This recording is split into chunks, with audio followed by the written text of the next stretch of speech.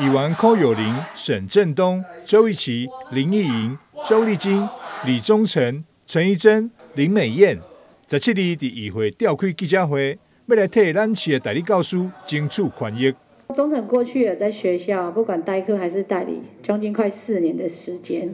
那我也相信说，其实就无奈吼，因为阮体有选手，做侪拢无法度考到学校，就是正式老师啊。是啥原因？因为阮的学科英文东西输别人，所以有很多都会沦为变成是代理教师。那在代理教师的过程中，因为阮体有选手，有时啊得爱去带校队。有时啊，得爱去配合行政，有做这需要着阮代理老师去做的工课，因为学校无遮个专业嘛，所以阮去做代理老师的时阵，阮得爱去带选手，爱去带球队，爱去带顶顶的遮个吼相关的这些社团。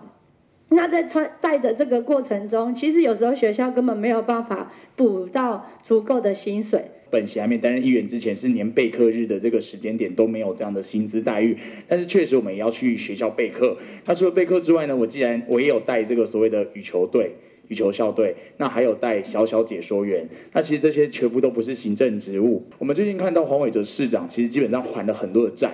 那如同那个招委所去并定定的这个议题，市长他们变惯老板。原来还债或者是赚钱的一个方式，就是压榨我们的代理教师，才得到还债或者是有盈余去还钱。那我想，这个对我们代理教师是一个非常非常不能接受的一件事情。代理老师，台南市政府只有给十个月的聘期。这样跟其他六都来做比较，显然代理老师的权益受到了剥削。我们希望代理老师是一个合格的教师，他在学校里面的教育功能一样是可以的，他的劳动条件可以获得合理的保障。我们希望市长不要担任惯老板。而是一些给予合理的一个聘期，能够让我们孩子的受教权利获得保障。今日需要单位有台南市三大家长协会代表、台南市校长协会以及台南市教育产业工会，也拢出席为代理教师抱不平。既然他是来代理一个正式老师的员额，但是我们的每年到了寒暑假七八月的时候，都只给他，呃，你有来上班才有薪资。但是我们知道，从教育部下来，他是给十三点五个月的薪水。那我们谈的是一直以来都只给十个月，甚至最近有好一点点。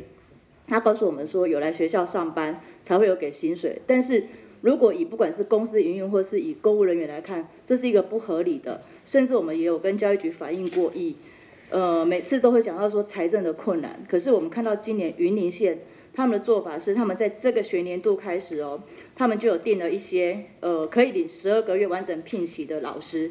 市府教育局也答应将向中央反映代理教师的薪水问题，也将设法降低员牙管控比率。